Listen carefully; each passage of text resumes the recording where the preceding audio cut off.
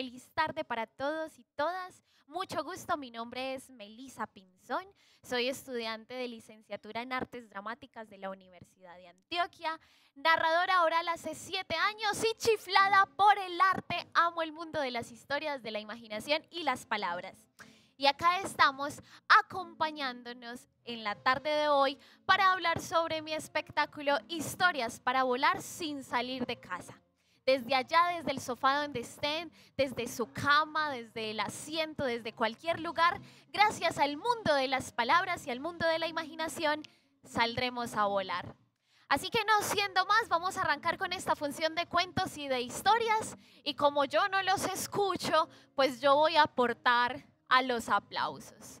Entonces permitimos que el mundo de las historias, de las palabras, llegue a esta narradora y que ustedes allá en su imaginación puedan crear mundos fantásticos gracias a mi palabra y mis gestos. Arrancamos entonces esta función de cuentos con un fortísimo aplauso. Empezamos con cuentos breves, cuentos chiquiticos, cuentos micro, micro que a veces tienen tan poquitas palabras que se escuchan y uno como que no los entiende completamente. Pero no se preocupen que vamos agilizando el mundo de la imaginación. Cuento corto número uno.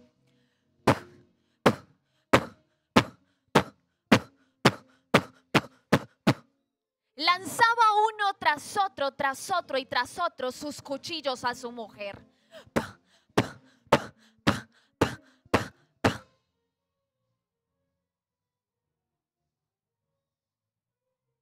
Quien los recibía con un trapo para secarlos.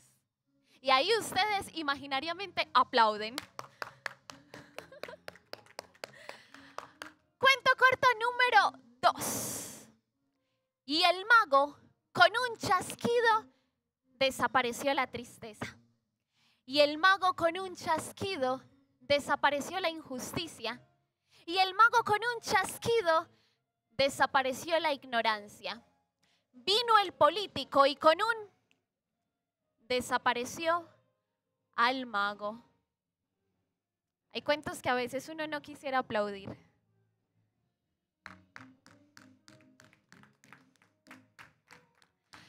Cuento corto número 3. La madre le dice a sus hijos, hijos míos, los animales más terribles, sanguinarios y monstruosos no son los leopardos, no.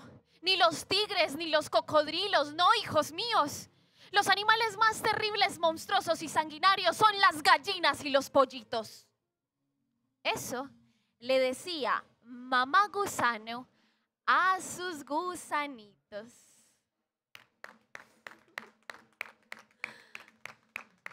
Ahora vamos con unos cuentos un poco más gruesos donde vamos a hablar de unos personajes y de situaciones específicas. Esta historia es un cuento que extrajo Gabriel García Márquez de la tradición oral. La cita. Esta historia ocurre en la plaza de un mercado y el personaje de nuestra historia es un sirviente. El sirviente está tomando frutas, verduras, hortalizas, disfrutando de las texturas de aquellas frutas sintiendo el olor fresco y escuchando los cánticos de los vendedores de mercado. Manzana, limone, manzana, limone, manzana. El sirviente cuando ya tiene las frutas y verduras listas, las guarda en su pequeño bolso y va a dirigirse hacia su reino. Pero antes de irse, el sirviente ve que en medio de la multitud hay un rostro que lo observa. El sirviente se detiene y se da cuenta qué es lo que mira. De inmediato, muerto del susto, deja las frutas y verduras regadas y sale huyendo hasta donde su rey. Mi rey, mi rey, mi rey, mi rey. En la plaza de mercado vi a la muerte. Y la muerte me hizo una señal de amenaza. El rey que quería tanto a su sirviente le da tres monedas de oro, le presta un caballo y le dice, corre hasta Samarra. Más tarde, el rey vuelve a la plaza de mercado. y en la plaza de mercado toma las frutas y verduras que su sirviente no pudo llevar. Pero antes de irse, en medio de la multitud se encuentra con aquel rostro. El rey observa el rostro y la identifica. ¡Ey, muerte! Con que hoy en la tarde miraste a mi sirviente y le hiciste una señal de amenaza. La muerte sorprendida le dice, a ver, a ver, yo, yo sí lo miré, sí, sí, pero discúlpeme, no fue una señal de amenaza, fue una señal de sorpresa. Es que lo vi ahí tan tranquilo, tomando frutas y verduras, sabiendo que él y yo hoy tenemos una cita en Samarra.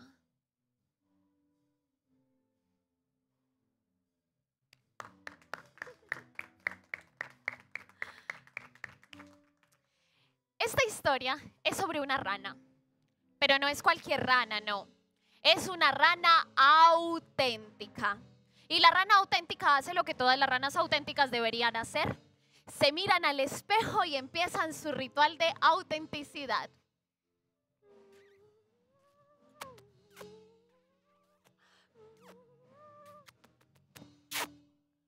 Y cuando sale al bosque, Escucha cómo todos los animales del bosque sin falta alguna le dicen, ¡Guau! ¡Qué rana tan auténtica! Mírenla, mírenla, con esos labios rojos, brillantes, carnosos. Esa sí es una rana auténtica. Y la rana se emociona. Al siguiente día continúa con su ritual de autenticidad.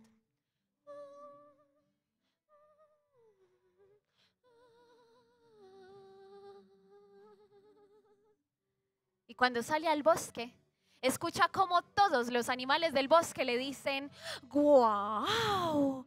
¡Qué rana tan auténtica! Mírenla, mírenla, esas pestañas largas, negras y frondosas. ¡Oh! Esa sí es una rana auténtica. Y la rana emocionada. Al tercer día continúa con su ritual. Se mira al espejo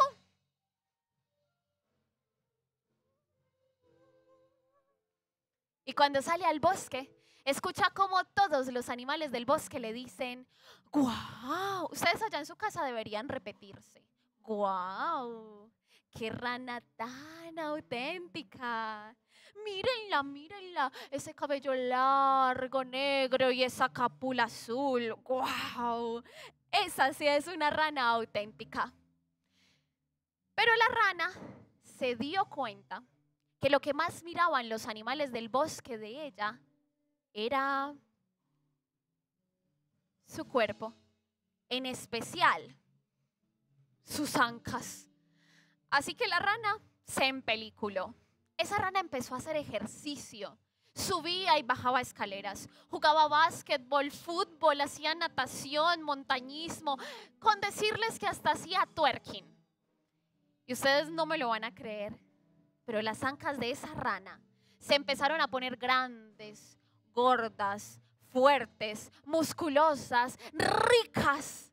Tanto así que cuando la rana salía al bosque, escuchaba como todos los animales del bosque decían,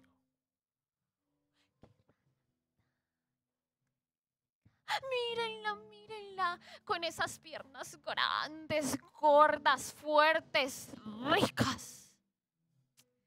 Pero la rana quería más. Así que ella decidió que todos los animales del bosque debían probar una carne verdaderamente auténtica. Se paró en la mitad de todos los animales del bosque, abrió sus manos y dijo, cómanme. Los animales del bosque se abalanzaron hacia ella tomaron sus ancas, las mordieron, las destrozaron, las trituraron, la sangre salía y los animales decían, mmm, mmm, mmm, delicioso, rica, auténtica, qué rana tan deliciosa, sabe apoyo.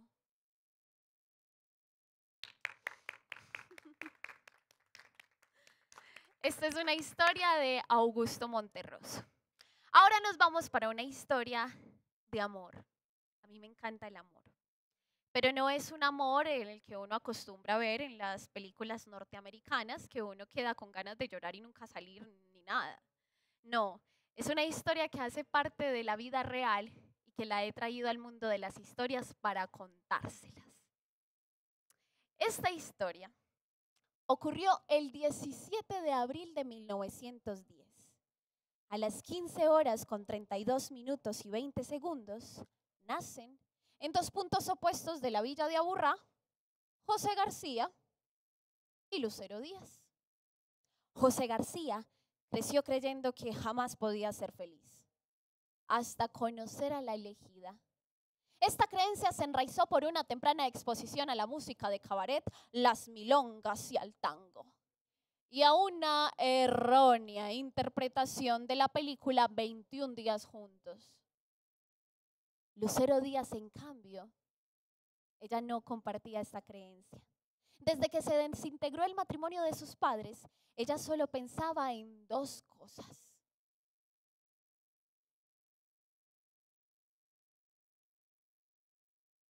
Conocer el mar.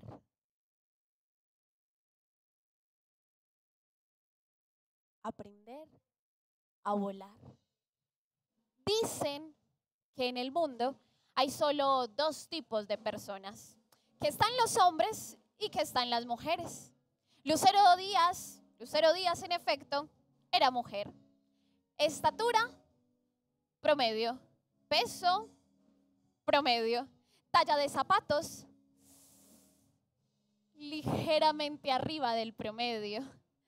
Desde cualquier punto de vista que pudiésemos ver a Lucero Díaz parecía como una mujer más, excepto que no lo era.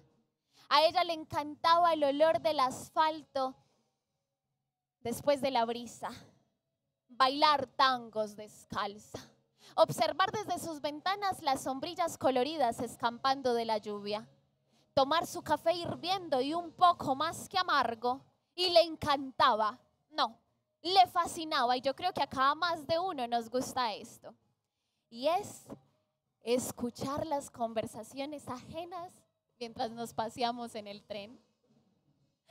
No le gustan las barbas sin bigote, los sombreros sin dueño, las voces chillonas, las piedritas que tallan en el zapato, las mariposas negras y levantarse con el pie izquierdo. José García era un hombre.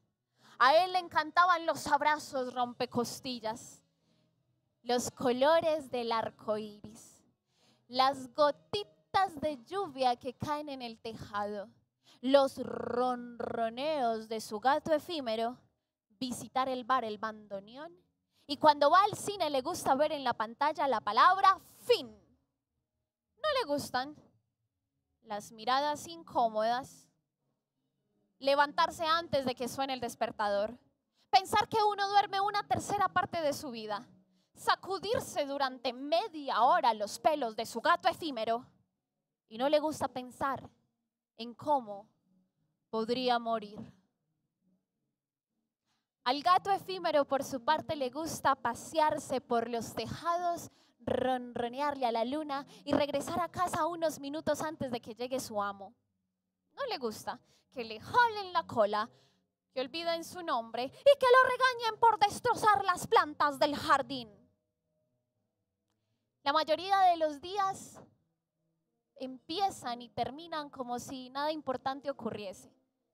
No sé ustedes allá en la casa, pero a veces es como si nos levantáramos, fuésemos a trabajar, durmiésemos, nos levantamos, trabajamos, dormimos, nos levantamos, trabajamos, dormimos. Y es como si la vida no tuviese un sentido.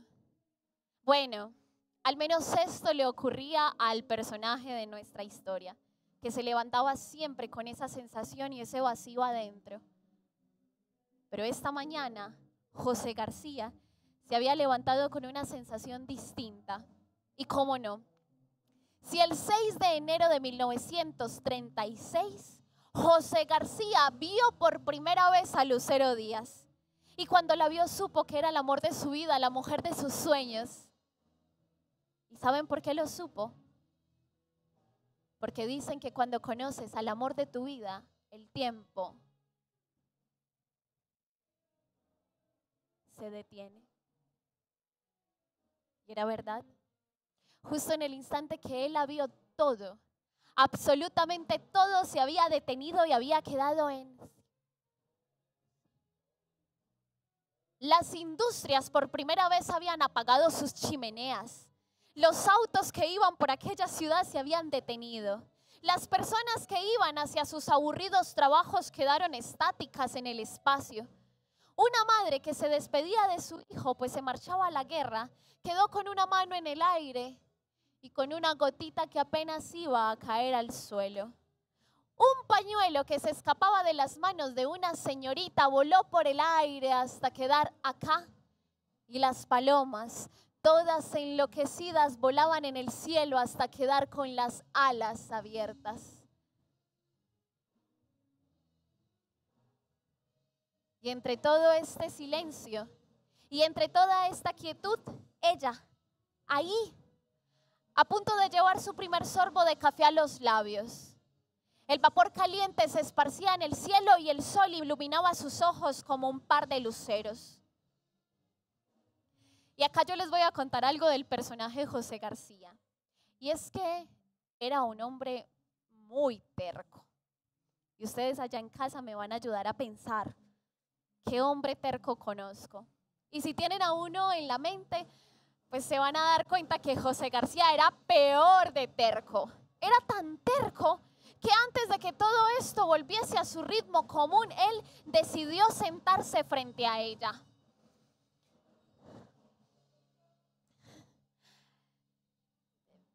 Mira, mujer, yo sé que tú no me conoces, pero quiero que sepas que siento acá en el estómago que las mariposas revolotean, que en mi corazón parece un galopar de caballos, que siento, mujer, que de la boca me sale el te amo. Te amo. Pobre Lucero, ¿qué iba a hacer? Dijo, este man está loco. Dejó su café a medias y se dirigió hasta el fondo del café. Allí empezó a conversar con las meseras, susurrar, hasta soltar la carcajada. Luego se puso su delantal y continuó con su trabajo. Y como ya les conté que José García era terco, desde que supo que Lucero Díaz trabajaba en aquel lugar, fue todos los días a la misma hora y sin falta alguna. Lo poco o lo mucho que supo sobre Lucero Díaz fue gracias a sus amigas, las meseras, que al ver a aquel hombre que iba todos los días como un acto de amor, empezaron a aflojar la lengua. Lo primero que le dijeron fue su nombre. Se llama Lucero. Lucero. Lucero, Lucero, Lucero, mi amor, se repetía aquel hombre más de diez veces. Y al siguiente día llevó una carta con un poema que hablaba sobre luceros. Lo siguiente que le dijeron era que Lucero trabajaba en aquel lugar para pagar las cuentas de su padre que estaba enfermo y para pagar sus cosas. Y lo tercero y lo último que le dijeron era que Lucero Díaz no estaba interesada en el amor. Eso fue como si a José García le cayera un charco de agua fría en todo su cuerpo. Pero como estamos hablando de hombres tercos, a José García no le importó. Al siguiente día llevaba unas flores ya cansadas del trajín de día y en su cabeza tenía como respuesta de Lucero Díaz un rotundo no. Lo que José García no sabe, pero yo sí sé, es que Lucero fue fuertemente influenciada por sus amigas las meseras que le dijeron, ay amigui, salga tan bobita, pues dese la oportunidad con él. Está bien. Veámonos el viernes a las 10 de la noche en el bar El Bandoneón. Y se llegó el viernes porque esto es un cuento y el tiempo se nos va volando. El viernes, José García y Lucero Díaz se ponen de pie y empiezan a bailar al ritmo del bandoneón se apretan el pecho, se respiran, se huelen, se sienten y parece que levitaran. Digo parecen, porque José García no atinó a ni siquiera un solo paso. Tenía dos pies izquierdos, era malo, malo. Pero a lo que sí atinó fueron a las carcajadas y risas de Lucero Díaz que se rió durante toda la noche. ¿A qué te dedicas? no me digas que eres pintor. No, no, no, no, debes ser poeta. Con esa cara mínimo, mínimo eres cuentero. Y entre todas las cosas que José García pudo haber dicho, lo único que se le ocurrió decir fue, soy aviador. ¿Aviador? Yo siempre quise aprender a volar. Días después, José García llega al café donde trabaja Lucero Díaz vestido de aviador. Las meseras, ah, las señoras del café, ay, pero mirá este. Y los hombres. José García le narra sobre sus viajes, le cuenta cómo desde su avioneta empieza a ascender, cómo se empiezan a ir los, a desaparecer los cultivos, las casas y empieza a quedar todo diminuto, diminuto como pequeñas hormigas. La avioneta sigue subiendo, atraviesa una nube que parece de algodón y se encuentra con el inmenso mar. Y cuando Lucero escucha la palabra mar, solo dice, llévame a volar. Y José García no pudo haber dicho otra cosa que decir, está bien mi amor, veámonos el domingo en el Parque Las Margaritas. Allí te esperaré, mi amor con todo tu equipaje. Nos vamos a ir lejos, muy lejos. Y como eso es un cuento, el tiempo se nos va volando. Se llegó el domingo y Lucero a las 3 de la tarde estaba parada ahí con todo su equipaje. Pasaron las tres y media,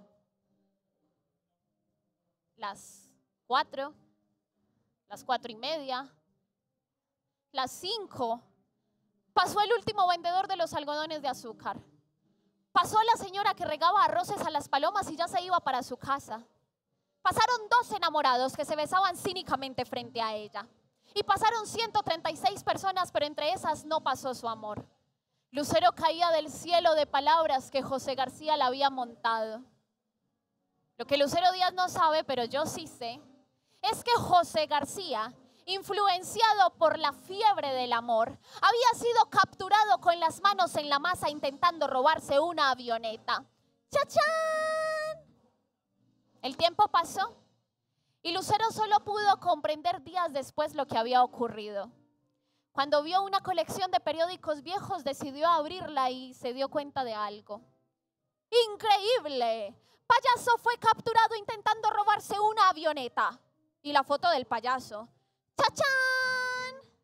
Lucero observa la imagen y la mirada de Lucero se encuentra con la mirada de su aviador.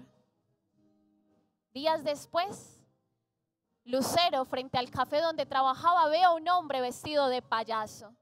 Y esta vez el hombre tiene en las manos unos globos rojos enormes de corazón. Al segundo día, este hombre tiene unas flores coloridas en foamy. Al tercer día lo que tiene es un megáfono. ¡Lucero! Lucero, mi amor, sí. Soy esto, un simple payaso, Lucero.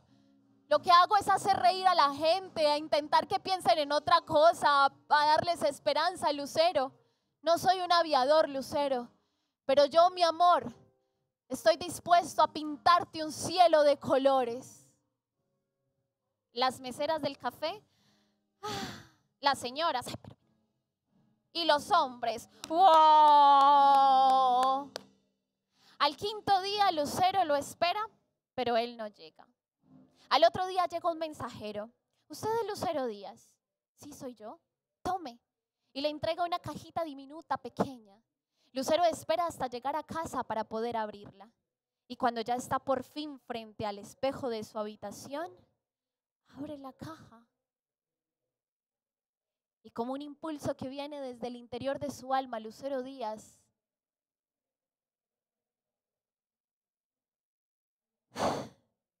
cuentan los que cuentan cuentos, que a Lucero se le vio feliz entre aplausos, bajo las luces de un escenario, al lado de su payaso el aviador, en el centro de la arena de un gran, gran circo.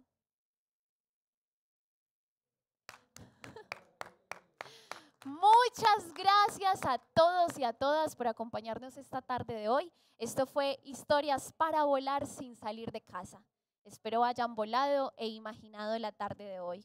Me pueden encontrar como Melisa Pinzón en Facebook o como Mel Pintrepo en Instagram. un beso y un abrazo anticorona.